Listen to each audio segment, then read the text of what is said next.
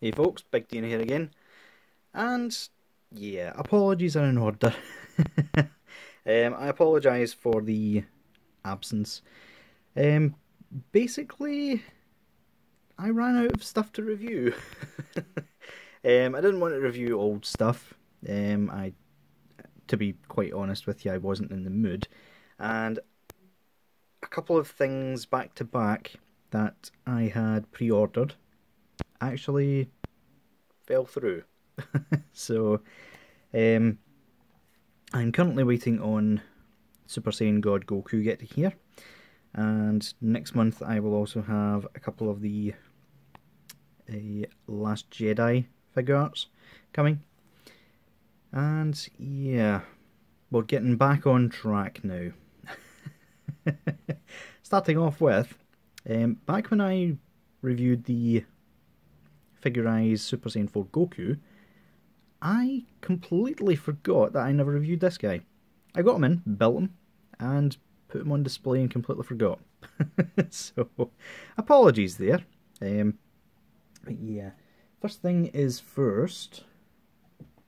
Um, let us take a look at the packaging, which is huge. I'm telling you right, right now. Um, let's get him out of the frame. And yeah, this is the box here. Um, nice picture. Again, Figure-rise like to use the the figure, but then the face is actually like anime accurate sort of thing. It's quite strange. A picture of the two of them fusing, which is good because it's almost impossible to get them into that pose. So I'm not going to be bothering trying to do it in this video. Um, Super Saiyan 4 Vegeta, it comes with two faces. Unfortunately, you don't get a normal stern face. You just get a smirk and a yelling face. Um, his effects, um, again, something with fusion. Strangely enough, they've never came out with a Super Saiyan 4 Gogeta. I thought that would have came after these two, but it never materialised. now they're on to Super Saiyan Blue, which is very, very strange. Um, but yeah, that's pretty much everything the box has got. You've got, quickly show, pictures from the anime, some pictures of them, but yeah, upside down, I can't get to it. Uh, and the rest is just a plain brown box. So yeah, let's take a look at the accessories, shall we? First one being this one, um, which is his final shine attack. Um, and it's pretty good actually. Looks quite similar to the show. Um, it is coming apart there. Why is that? Um, yeah, um, it's something different. The final shine always looked a bit different on the uh, the show. The only problem is they've put it, they've put the actual hole a bit too far here because it's quite top heavy, shall we say. It wants to just fall. but still, good that they made something different there. Um, you've also got this, which is a very large version of the Kamehameha. I mean, it is literally the same design. They've literally just enlarged it, but that's fair enough. A bit too big for the final shine, I would say, but even so, it's a decent looking thing, and it substitutes quite well on Broly. so, yeah. You also come with a couple of different hands. You've got his fusion hands, which of course Goku and Vegeta both come with. Um, I think one one thing they could have made better so that the actual fusion worked is just have these just fused together so that you could then move everything else round about it, but that's just me drawing on. Um, you have these sort of grippy ki blast hands, and that's your lot. Unfortunately, well, I think the newer figures are coming with normal sort of splayed open ki blast hands, but these ones don't have them, unfortunately. Which is a bit strange because Vegeta's Final Shine used those to actual launch launch the attack. Uh, you do have the extra face, which is the yelling one. Looks quite good. Um, the Super Saiyan 4s do tend to look a bit evil with the, the amount of red that they put round about the eyes. They could have uh, lowered that a little bit. But what are you going to do? And final thing you get is this little thing here, which can plug into his backside, and that supports a stand. Much better than the clamps that they used to come with, and I think they've started coming with them again. It's a bit strange. Yeah. On to Vegeta. Um, and he is a pretty decent figure. He's actually... Quite a few people have said that because they've reused Goku's torso and um, upper arms with him, that he looks a bit too uh, wide. But I don't see it. I think it actually makes him look better. Because, I mean, if you take a look at the Goku, combined with the fact that you can't really get him standing straight without forcing him back the way, um, he always looks as if he's drooping forward. Um, but that, um, yeah, he actually looks better in a sort of stance.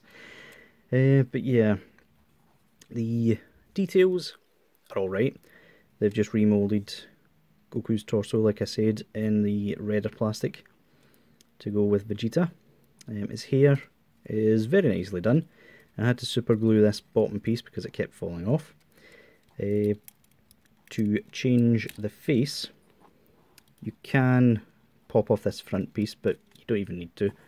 Uh, you can just do like so, and works just as well. And yeah, that looks good as well. The hands are just ball pegs, can easily swap them out. And yeah, the articulation leaves a little bit to be desired, but it's good enough to where you don't notice it too badly. Uh, his head is on a ball joint, but this hair sort of gets in the way. They've tried to circumvent it by having these out a bit, which isn't as noticeable as the Goku's was, so that's a plus. Um, but you can't look up at all. You can look down only that much, and side to side is limited to there. Um, his arms, completely fine, although you do get this strange just gap. um, gap, sorry. I lost my voice. Um, you do get the swivel there, um, single jointed elbow, but you can pop it out to get better range, which is quite a, a good little design. Um, doesn't swivel at the glove, just at the wrist. Uh, you can swivel side to side here. This joint here is completely useless, same as Goku's. It really does absolutely nothing. Um, you can push him back, but again, you instantly see the joint there. The legs are on a pull down joint, which allows them to kick out very far. And can also move forward, like so. A single jointed knee, which is a bit strange, uh, but still works just fine. And these, two seconds. Apologies, folks. Um, someone just came to the door, and my uh, lovely mother was very loud. so yeah, where were we? Um, yeah, the feet have decent a swivel, but not too much. Can go down quite a bit, so it can look as if he's flying. And no toe articulation, because of course that's too um, difficult to make into like a model kit sort of thing. And the tail does swivel, although it tends to pop out quite easy. Uh, but you're not really going to move it from where it usually is anyway, are you? But yeah, guys, would I recommend this guy? Oh, and I almost forgot. He does have um, butterfly joint, which works. It works okay.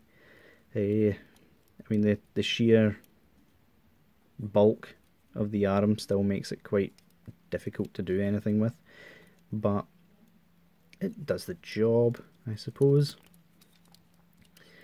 Um, so yeah, like I was saying, would I recommend this figure? Um, yes, yes, I definitely would, especially if you already have the Goku. Um, these figures are probably the closest you're going to get to Figuarts ones until Figuarts uh, decide they're going to do them again. Because, I don't know why, I think it was because Super was coming out that they sort of dropped the plans for him. Uh, because the, the Super Saiyan 4 Goku looked really good. He did. Uh, and they sort of just disposed of him, shall I say? uh, but yeah, definitely worth it if you can. Um, if you can spare the time to build them. So yeah, guys, that'll do it for this review. And next time won't be as long of a wait because, as I said, Super Saiyan God Goku is in the mail, and yeah, I'll, I think I'm going to have to start reviewing some older figures as well. Um, just in the meantime, waiting on the influx of figures coming. So yeah, I'll see you guys later.